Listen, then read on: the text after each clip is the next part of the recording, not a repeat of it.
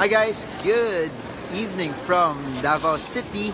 As part of our habit, uh, we try to feature stories of kababayans, of Filipinos who, you, you know what, are, are making strides in terms of investing, in terms of how they uh, make a mark in terms of trading the markets with decent confidence. The reason why we make videos like this is we really want to encourage Filipinos wherever they are in life that uh, they have to start investing. And it's nice to hear stories of other people other than me uh, and their stories on how they invest in the market and why they're investing, what's causing them uh, to invest as a whole. Because we really want to see stories. We want to hear success stories of Filipinos who are making it in life. Because that's at the end of the day, it's all about inspiring people. It's all about showing people that it can, can be done, that you can prosper, that you can uh, do amazing things wherever you are in life, and that the stock market is not just for uh, it's not just for the rich. It's not just for people who are very very good in macroeconomics. It's not just for people who uh, are good in, in numbers. That the stock market can be for everyone. So for this Facebook Live session, I'd like to introduce you to uh, one of our attendees from Stock Smarts Davao. He he's a nurse, an OFW from Qatar, and which in, which is very very interesting kasi people think that if you're from the medical industry uh, it's not medyo mahirap mag-invest sa stock market but I hope you like his story and I hope you uh, get encouraged you get inspired that if he can do it kaya nyo rin and, that's the and that's the goal that's the desire that we see more Filipinos uh, invest in the market with decent confidence so I'd like to introduce you to Hi. Uh, hello hello hello hello, hello, uh, what's your name name Uh, I'm Henry de los Reyes. Henner de los Reyes Uh, Good okay evening, everybody. Gusto, gusto are following uh, Mr. Marvin. okay, okay, okay, okay. Question. Uh, so, taga saan ka sa Pilipinas muna? uh, I'm from uh, Giginto, Bulacan, uh, and I'm OFW from Qatar. Okay. I just uh, went here for vacation and uh, pinilit ko lang umattend dito sa Stock Mars Davao before I went back to my work in Qatar. What what do you do? Uh, what kind of nurse are you in Qatar? Uh, I'm a nurse in Qatar. I've been there for uh, five years, uh, more than five years now. My wife also uh, working with me in Qatar. So Ba- ba- bakit? Why, why did you have to go abroad? Ano yung nag-cost sa'yo to go abroad also? uh, basically uh, to prepare for our retirement and uh, to have some funds for our business or education of our children to fund that everything and uh, as well as to invest in something na alam namin na once we leave the world abroad we have something here to start with Pero, when it comes to the stock market, kasi kung hindi nyo alam, si uh, Henner, ano yan? Uh, one of the very, very few Filipinos abroad also na nasa nursing industry that's investing in the stock market. Uh, ano yung nag, ano sa'yo? Uh, common stigma kasi stock, stock market sugal. People think that stock market is gambling, pang mayaman, so ang dami pera kailangan, mahirap intindihin. Ano yung nag ano yung nag ano sa'yo, nag-push sa'yo or ano yung naging turning point sa buhay mo na nag-invest ka sa stock market? Uh, actually honestly, uh, many people uh, says that investing in the stock market is a gambling. But gambling is a one-time bet, like uh, something na hindi mo alam kung saan pupunta. Pero but here, you know, just study, uh, be patient, and know some principle of investing, and with some guide, books, and uh, attend some seminars, invest also uh, with yourself with knowledge, uh, buy some books, attend seminar like this with Mr. Marvin, and uh, you can learn many things in investing. Okay. So, nung nung nag-start ka, ano ba yung ano ba yung ah, ano yung nag first na nag-trigger sa na mag invest invest ka maybe ah, nag mutual funds ka muna kasi for those who know my story I went into the ano ah, before going to the stock market I went into the entrepreneurial route and I also did a lot of yung mga equity funds first. So sa'yo ano yung mga first steps mo baby steps na uh, nag nag-cost sa'yo? Kasi syempre not not everyone kaya tumalon kagad na mag-invest eh. So ah, ano yung nag-push sa'yo nun? Uh, before, we have tried a lot of uh, some investment type or business, but you know, uh, business, uh, you need Hindi daw nadidinig yung boses mo, wala daw audio. Ah, ano daw? uh, Louder daw. we tried some business before, uh, but you know, in business, uh, you have to have some uh, knowledge, skills, hands hands uh, on, and uh, capitals uh, in order for you to work with it well.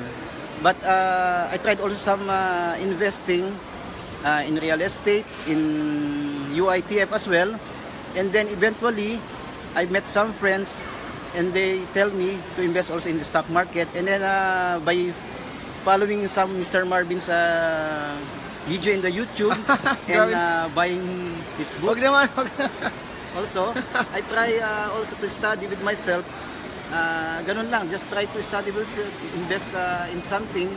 And then uh, little by little, you will learn something na magagamit nyo in the future Okay. uh, for yourself also. Wait, nung nag-invest ka sa stock market, ano naging reaction mo? Sabi, naisip mo ba, ganito, ganito ba, ganito lang pala kadali? Or parang, ay, ang hirap ng stock market. Nung nagginagawa mo na siya, ano reaction mo? Madali, mahirap? Ah, nung una, sabi ko, first time for me, because I'm a nurse by profession, iniisip ko na by all numbers, all computations. Okay. I don't know, nakikita ko sa TV all uh, the the scenario in the stock market. I think uh, it's hard for me, but uh, little by little, I go first from the basic. So the first one thing I think uh, I do is to step, uh, to move st- one step forward, and from there on, little by little, I try to study, and then I, I come to adapt with it. Okay. So, galing ng steps niya. Little steps. Kasi bakit? If you study, little by little, you gain the confidence, you gain the knowledge na na ano eh, uh, it gives you the ability na kayang-kaya mo pala siya gawin, di ba? Na uh, it's not so hard as what people think it is. So, uh, first investment, how much? Stock market? Uh, medyo, in- initially sir, nag-invest lang ako a little amount, uh, starting from 100 and then eventually going up. Okay. And then, uh, and then I realized na, uy, okay ah, mukhang nag-grow. Other than sa investment instruments, if you compare the stock market, it will give you more uh, gains. So from there on, I convinced also my wife to, uh, regarding this. So we start investing in the stock market. Okay. So pati wife niya nag-invest na rin. That's what's nice. So I encourage you also, no. Ano siya eh, uh, the stock market is something that's amazing that uh, when one invests and you see the benefit of it, you see how amazing it is. Lahat na kayo, sa- sama-sama na yan na ma- makakapag-invest kayo sa market. It just needs one person to have the right mindset, the right mentality kasi we all grew in the ano eh. Ah, yes or no? Ah, tin- tinuru- tinuruan kayo na ma- magtrabaho na mabuti. Yes, yes no? Yes, uh, for us, is, uh, we're all uh, driven to work harder. Okay, pero tinuruan kayong mag-ipon, hindi masyado. Uh, before, uh, mag-ipon ang tinuro sa amin and then mag-ipon na mag-ipon and then to save. But Okay. uh, ang na-miss namin that part before is how to invest. And then later, I we realized that uh, the importance of investing. Ah, interesting. Very interesting. Okay, sa mga taga-Qatar, ilan percent dapat ng sweldo ninyo ang dapat i-save mo? You recommended mo from one OFW from Qatar to another, ilan percent dapat? Uh, basically, what we're doing now, uh, if you are here locally, uh, they say that 80-20 rule. Okay. 80% of your income goes to your expenses and 20% at least goes to your savings. Para sa mga Pinoy sa Qatar, na may if you are kamag-anak. OFW, like us, uh, you know naman ang buhay sa abroad, uh, we're here to work and to save money. So whatever na nasi-save natin, if we have a bigger part of that we can save and invest, uh, try to make it. Not if you can make 20%, 30%, 40% is better. Okay, so kaya ba ng mga taga-Qatar na mag-save ng 40% ng income nila? uh, can can basta magtipid lang ng kaunti and Okay. then uh, try to minimize the other unnecessary expenses and then uh, try to focus on your goal Okay. because all of us uh, OFW sometimes we have a span of 10 to 20 years only Okay. working abroad so we know naman pagbalik natin at least we have something to start with Ako, I've been to Qatar several times eh. And I- I'll be back pala sa mga nagtatanong, oo, I'll be there November. Tuloy yung seminar uh, this November 16 to 19, Doha, Qatar, Copthorne Hotel, Old Airport Road. So, uh, I'm excited to be back. I'm excited to be there. I'm excited to see the kababayans there. Pero kasi sa Qatar, iba eh. Medyo, kasi since mataas yung standard of living sa Qatar, yes, mataas? Yes, mataas Since mataas yung standard of living, lahat ng mga tao na ano, gastos sila ng gastos above and beyond yung normal na gastos nila.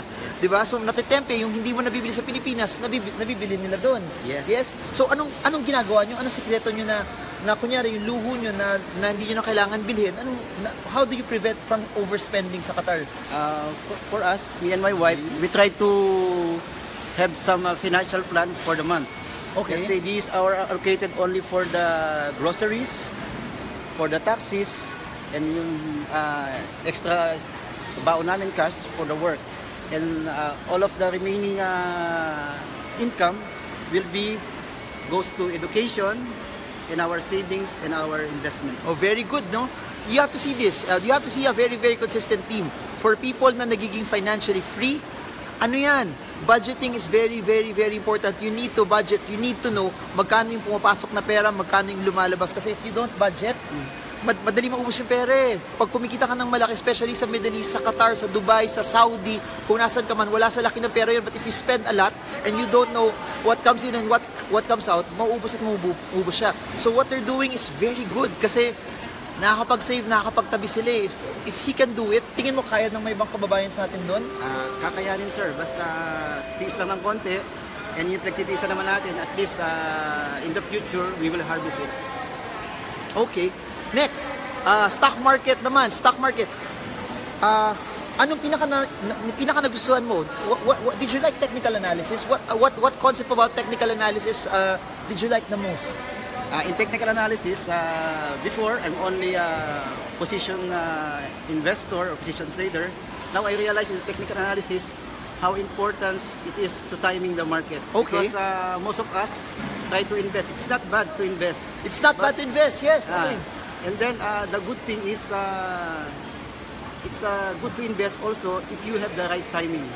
So Okay. you have a possibility of higher gains if you know how to time in the market with proper guidance and uh, principles to follow. Ano yung best strategy na natutunan mo all weekend sa technicals? Ano yung pinaka nagustuhan mo? Uh, the best part of this uh, uh, Stock Smarts Davao uh, Mr. Marvin is the importance of uh, discipline. Discipline. Even you have money uh, You to have spare money to spare. and to put in your investment And put is in. good. But if you have uh, try to be patient and follow the principle how to put your money on time and how to go on the market uh, on time by discipline, you can uh, earn more. Oh, what I like about him, I don't know if you know this, 5 hour difference from Qatar sa Pilipinas. He would wake up 4 a.m. every day para mag-trade ng markets. Yun yung determination, yun yung grit ng mga tao na gusto maging financially free. I always tell people, habang bata ka, is 47 years old, habang bata ka, use your energy to ano eh, to be financially free, use what you have, use whatever capabilities that you have. Kasi bakit? The best time to invest is now. We computed the fair values of companies. And I don't, nalala mo, yung mga companies over the long term, Yes. kung, kung maganda yung ah, company, maganda yung growth niya, malaki, yes? Yes. And you will see that there's so much advantages when you start investing early. And I like featuring people uh, like him, OFWs, kababayan na, ano eh, kayang-kaya siya eh. The stock market is at a position na hindi lang siya para sa maya, sobrang yaman na tao. It can be for you kahit nurse ka na walang background sa finance. You just need to study. You just need to, like what he said, read. It doesn't even have to be my book. It doesn't have to be even my seminars. But you need to educate yourself. Your greatest asset is yourself eh. The more you know, the the more the more knowledge you have, the better understanding you have, uh, the better decisions you will make pagdating sa investing eh. Kasi parang hindi ka ma-scam eh. Madaming ba nasa scam sa Qatar? Uh, before I heard, mayroon din pumapasok, may mga ganyan ding issues. But uh, we cannot blame them because uh, other people also, they know the situations abroad. So they also want to earn. But uh, unfortunately, they go on the other uh, wrong companies. also Okay, wrong companies. in. Okay, last na lang and we'll we'll end with this. Uh, before I give it to him, then he'll give it back to me. Uh, advice, recommendation, payo sa mga kababayan sa Qatar. Unang-una, para makapag-save sila. Pangalawa, uh, para sa mga tao nag-hesitate mag-invest sa stock market or para sa mga tao din na natatakot kasi tingin nila uh, gambling yung pag-trading. Uh, what, what do you do? How do you do it? How can it be done? Uh, guys, uh, advice ko lang sa mga kababayan ko, mga OFW, not only in Qatar, but from some other place uh, also who want to invest. Uh, uh, it's not uh, that hard to invest in the market. You can uh, invest little amount if you want to try and uh, try to be patient, diligence in studying what you want to go with. Especially we are preparing all for our future when we go back to our country. So lahat ng it doesn't mean na lahat ng time mo puput mo on uh, watching the stocks. But if you have uh, don't have enough time, you can do some investment only, not only trading. You can do you can uh, work as an uh, investor only. And then uh, advice ko sa inyo, uh, especially do sa mga wala pang family, you have the full capacity to earn much. Unlike dun sa mga may family, uh, they divided their income into several things. So if you have a chance, well, uh, you have the opportunity for us also to earn while abroad. Uh, try to invest in the stock market. If you have some other investment, try to consider uh, investing in the stock market as well. Alright, thank you so much. Very, very good. Palakpakan nyo naman, ah. look look for him. Hermohen, Her, Hermogenes de los Reyes. Yes, or Hener from Qatar. Uh, what I like about his story was sinabi niya the best the best time to invest is right now, especially pag di mo kailangan eh. If you don't need the money, lalo na pag single ka. Kasi sometimes pag bata tayo, na, na nabibigyan natin ng ano, hindi natin nabibigyan ng importansya yung pag-save tsaka pag-invest eh.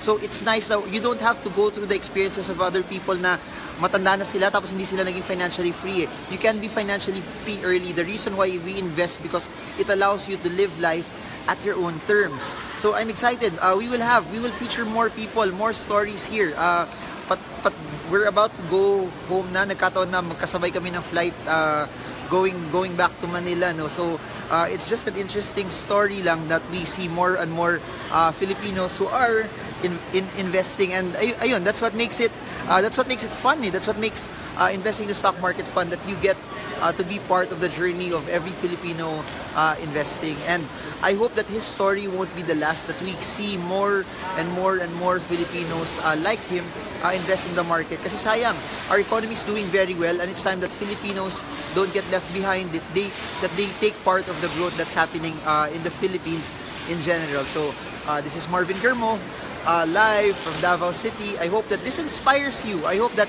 uh, this pushes you uh, to do things that you've never done before. So, uh, that's it from now. Live from Davao. God bless you. Uh, babating ko nga pala kay lahat. Sino to? Jill Lim.